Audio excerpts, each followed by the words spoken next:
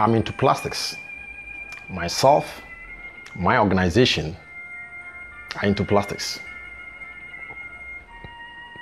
The day I read the report about plastic waste changed my focus and my plan about the plastic waste and organization that I got myself involved in.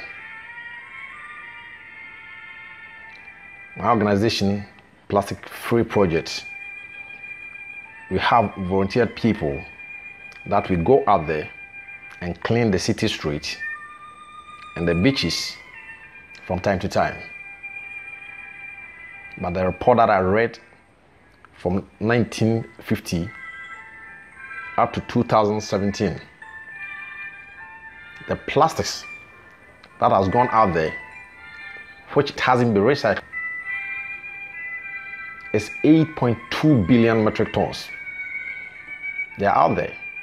Then you ask yourself, where is it? Probably you haven't seen it.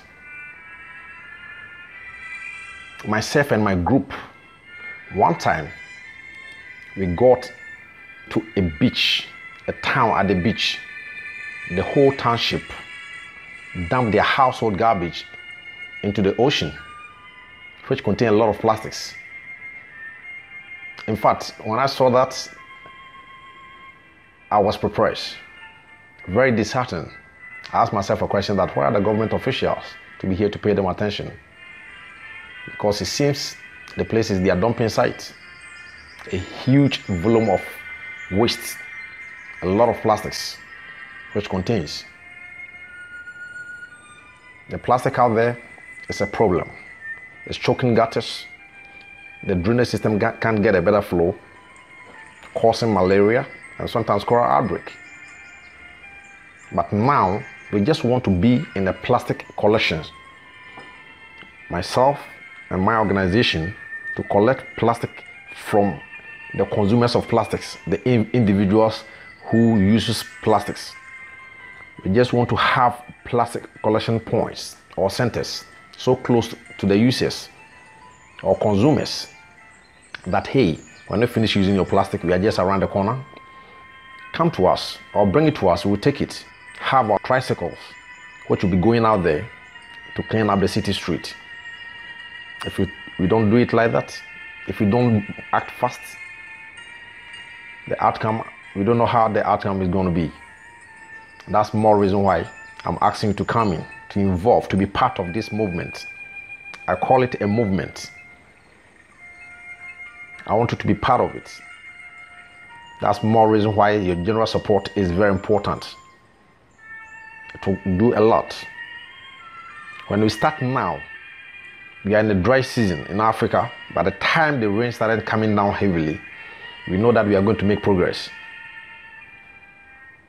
If you don't do it like that, I believe that the plastic will keep on, or the number will, will keep on increasing. When we start plastics to make building and pavement blocks. A block of this type. This is the pavement blocks or a pavement block made from plastics.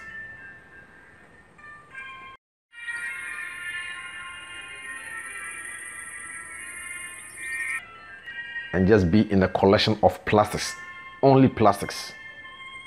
Our attention and our focus and everything is on the plastics. We just want to have all this collection points. The centers are the vantage points. We involve the students. We just want to involve the students and tell them that, hey, if you can be able to accumulate plastic up to a certain amount, bring it to us. We'll take it, we'll be given pen, pencils, mathematical sets, and exercise books to support the education.